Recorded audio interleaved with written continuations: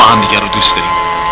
قول میدم برای سعادتش زندگیمو فدا کنم پدر. بس دیگه نمی‌خواد احساساتی بشی. باید زودتر با هم عروسی کنیم تو باید بری اصفهان و مادر تو ورداری و با خودت بیاری. می‌خوام بعد از چندین سال دوری تو عروسی پسر شرکت داشته باشه. پدر بذاریم من و فریبا با هم بریم. پسر که بیشعور.